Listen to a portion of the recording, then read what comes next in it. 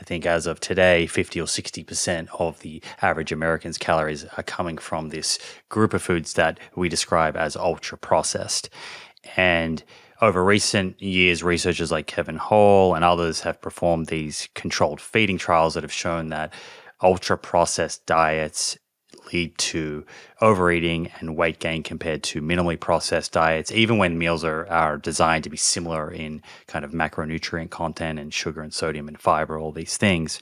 And then just recently, the American Heart Association issued a scientific advisory sort of highlighting the cardiometabolic risks of ultra processed foods and calling for policy changes, policy action and I know that you wrote a blog on this, you sent it to me yesterday. From your perspective, what are the most important takeaways about this group of foods, ultra processed foods, for people to understand? So, Simon, ultra processed foods to begin with are what we used to call junk food. And, and we've switched the nomenclature, largely courtesy of the work of Professor Carlos Monteiro and colleagues at the University of Sao Paulo in Brazil, who gave us the NOVA classification. So we now have an operational definition of what used to be junk food. So it used to be junk food was, you know, vaguely defined, but you kind of knew it when you saw it. And mostly you looked away because you wanted to eat it and didn't want to have to confront the fact that it was junk where food ought to be. We now have ultra processed food. And there are four stages of, of processing in the NOVA classification, beginning with wholly unprocessed foods and ending with foods that use ingredients that a home cook would not have in the kitchen. And the main thing we need to be aware of is that there is a massive overlap between long ingredient lists and ultra processing and the commercial manufacture of foods and excesses of added salt, added sugar, added flavorants that stimulate the appetite center, and all the wrong kinds of fat. So, leaving aside the issue of how much a food is processed, and leaving aside for the moment the issue of how much direct damage is being done by texturizers and emulsifiers and, and preservatives, food chemicals that aren't a major part of the recipe that are, but that are serving some functional role there is a tremendous amount of overlap between the fundamental liabilities of the modern diet too much added sugar, too much salt, too much saturated fat, too much of the wrong kinds of unsaturated fat or, or just imbalances there, and ultra processed food. They, they, those things go together. These are things that come in bags, boxes, bottles, jars, and cans with very long ingredient lists, and and then there's another critical consideration. So, first, what we ought to be looking out for is highly processed food that's giving us way too much of what we get too much of. And by the way, way too little of what we get too little of, like, for example, fiber. To me, the real story about ultra processed food is the intention. And, you know, food processing originally had as its intention food safety extending shelf life, keeping things from spoiling, making it possible to eat food in winter that we grew in the summer and that kind of thing.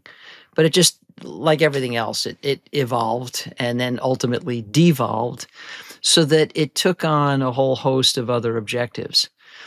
They've been described a number of times in high profile places like the Chicago Tribune and the New York Times. The best place you can look is the work of Michael Moss, a Pulitzer Prize winning investigative journalist, author of two books, Salt, Sugar, Fat, and Hooked, all about the machinations of the food industry.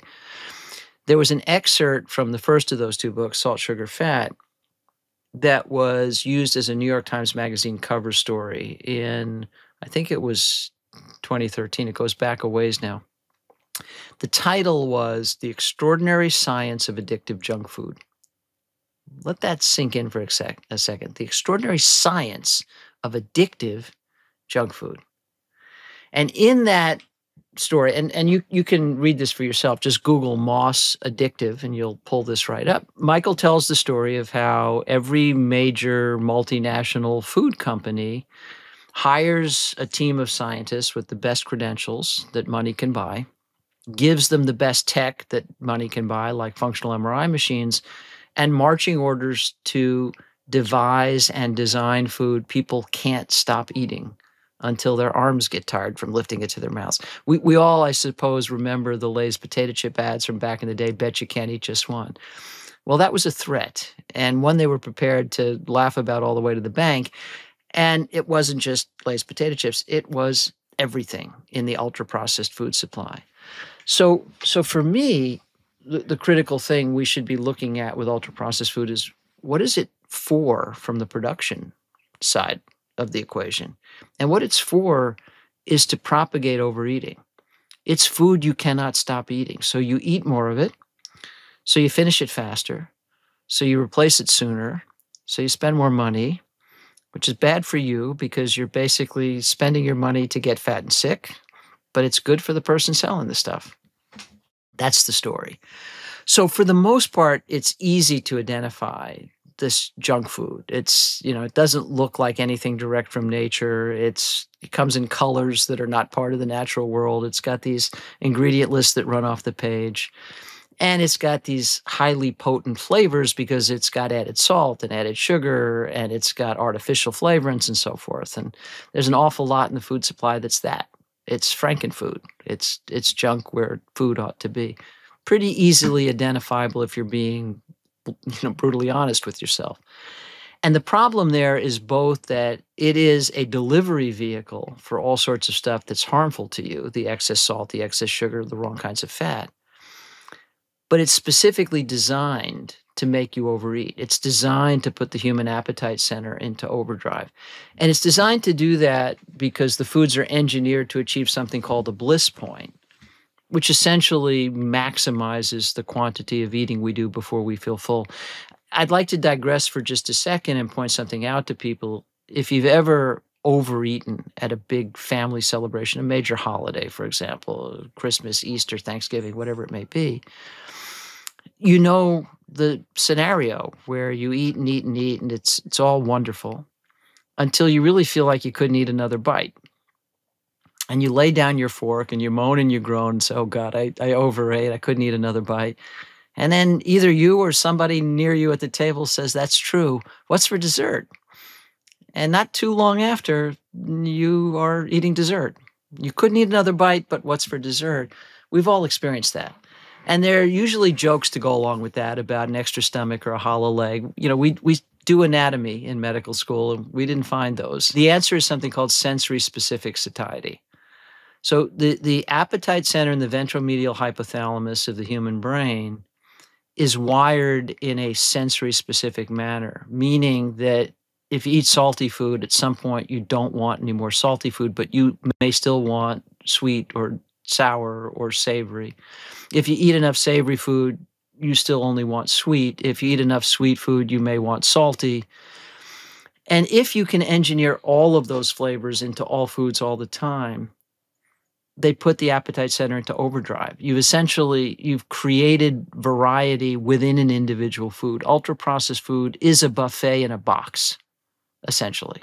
And it's one of the mechanisms by which it stimulates overconsumption. So what you look out for is anything that doesn't look like real food, anything where the ingredients are unrecognizable, anything where you'd be really hard pressed to say what part of the natural world what tree did this grow on? What what soil did this come from? What kind of ambulation did this animal have? I mean, you can't tell where it came from. It's probably ultra processed but the real liability is the fact that the majority of ultra processed foods are designed to foster overconsumption and all the ills that result from that. And that's because that's highly profitable and it makes perfect sense. So these these multinational food companies are really exploiting our biology uh, biology that that we've been handed through evolution that once would have served humans very well in periods of famine. Exactly right. I mean, everything about our adaptations works well in a natural world. It, it just can be turned against us in a world that is as contrived as ours. If you're in the grocery store and you're trying to navigate this space, how do you distinguish between ultra processed foods that may actually be health promoting versus those that are not health promoting. And I asked this question because I saw that the AHA scientific advisory paper sort of specifically called out certain foods like whole grain bread or low sugar yogurt or even nut butters that could be considered processed or, or ultra processed. What would the difference be between a food that's ultra processed and, and might be one that you want to steer clear of versus one that could be health promoting? I have a different example in mind than theirs. So, in general, I line up very well with the AHA paper. They basically talk about the fact that for the most part, ultra processed food and bad food overlap. And in the, the blog post I shared with you, Simon, and feel free to post that for the audience, I drew a Venn diagram, which basically was ultra processed food and bad food or junk food. And they massively overlap, but they don't overlap perfectly, meaning there can be some ultra processed food that isn't bad and some bad food that isn't ultra processed. And I think that's the reality. And the AHA paper does a very nice job of parsing that nuance. And then they, they use these various examples. They point out, as I just did, that overwhelmingly food that's ultra processed is also a delivery vehicle for all sorts of stuff that's bad for you excess salt, excess sugar, wrong kinds of fat, and so forth. So, for the most part, it's an easy call. This food would have been bad for you even if it wasn't ultra processed, and it's ultra processed. So, you know, it's just, it's easy. I would use a different example, though, to point out that it all comes down to intention. So, you know, again, with a lot of ultra processed food, now the intention is as Michael Moss describes, it's designed to be as addictive as possible. It's designed for the bliss point. It's designed to make you overeat. And your obesity and type 2 diabetes be damned because you know, I don't care. I'm, I'm going to profit off of your gullibility. You're going to buy it, you're going to eat it, I'm going to get rich. So too bad for you. I mean that's that's the food industry perspective as far as I can tell. But sometimes food is put together to service a completely different objective. And we have to think about what the intention was and what space in the overall food supply and in our diets that food occupies. And the best example from my point of view is plant-based meats. So I I'm mostly vegan. I unashamedly acknowledge that I eat mostly plants. And and whenever possible, you know, when when I've got control over my diet, I'm not traveling and so forth, I eat only plants and happily so. So I'm not interested in you know plant-based meats that bleed. I, I you know I, I gave up beef as a teenager. I haven't eaten mammals since then. I haven't eaten poultry in a very long time, and I, I don't I don't want my burger to bleed. My wife makes these fantastic vegan burgers. They're absolutely delicious. They don't bleed. I'm perfectly happy with them. You know, I don't need alternatives to beans and lentils because I actually love those. That's me. Okay. I'm, I'm not saying that needs to be you. I'm just saying that's me. So, so impossible and beyond, those things were not, they were never for me. I never wanted them. I never needed them. Who are they for? Well, they're for my patients who've eaten meat their whole lives, who love the taste of it, who are familiar with the taste of it, who don't really know how to live any other way but who say, yes, doc, I'd like to be healthier. And yes, doc, I don't want to be responsible for cruelty. And yes, doc, I, I don't want to be the, the reason the Amazon rainforest gets burned down. But I, this is how I like to eat. Can I have my beef and not eat it too? And the answer is yes, with Beyond and Impossible and ultimately other alternative cell cultured meat and so forth.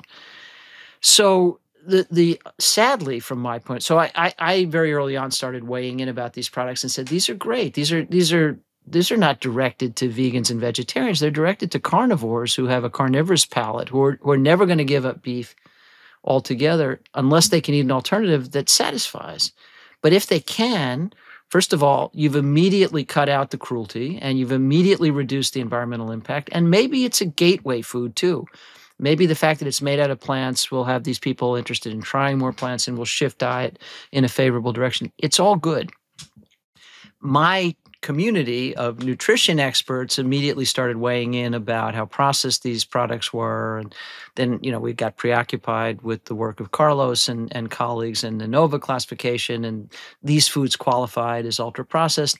And I think we threw out the baby with the bathwater. And the whole plant based meat industry tanked. I mean, a- after very high valuations for Beyond and Impossible, their sales plummeted. And, and I think that all had to do with being tarnished with the label of ultra processed. And I think that was a terrible mistake. These were not foods that were designed to be addictive, these were not foods that were processed more than they needed to be to make you overeat this was an effort to say, can we satisfy the palates of carnivores in a way that's massively less harmful to our fellow creatures and the planet? And then that leaves unanswered a third question. You know, what about the direct human health effects? Are they better for you than the hamburger you'd be eating instead? So early on, I, I wrote a piece, I think, on Medium, where somewhat ironically, it turned out that the final word on the topic of plant based meats was courtesy of a guy named Meatloaf two out of three ain't bad. I said, look, if we if we take those three windows I talked about earlier, right, we should look at food through, you know, what are the direct human health effects? How are we treating our fellow creatures, and what are the planetary health effects? Well, we don't yet know the direct human health effects of these plant-based meats, but we know there's no cruelty to, to animals involved, and it's much better for the planet. And we do know those two things, by the way, and we know them even more now than when I wrote this piece. And I said, that's good enough for me. Two out of three ain't bad. Thank you, Meatloaf, for weighing in on plant based meat. In the years since I wrote that, there has been research looking at direct human health effects. In particular, a study called Swap Meat by Christopher Gardner at Stanford, which looked at plant based meat directly versus comparable beef. So, this hamburger versus an alternative hamburger and a whole host of biomarkers. And there was clearly a net human health benefit of the plant based meat. So, yes, ultra processed. But, you know, frankly, the, the hamburgers that people are eating, they're ultra processed too, in the sense that it's beef on an usually ultra processed bun and sometimes with ultra processed ketchup. And so, you know, I mean, let's let's make a valid comparison here the switch to a plant derived source still winds up being a net benefit. So now it's not just that two out of three ain't bad, but three out of three is really good. So I think there are exceptions to ultra processing being in the service of bad intentions. I think there are times it can be directly in the service of really good intentions. And we have to very carefully differentiate baby from bathwater. So the AHA and I are completely aligned on that point of view. I would I just might choose different examples because I think you know on for example the whole whole grain bread.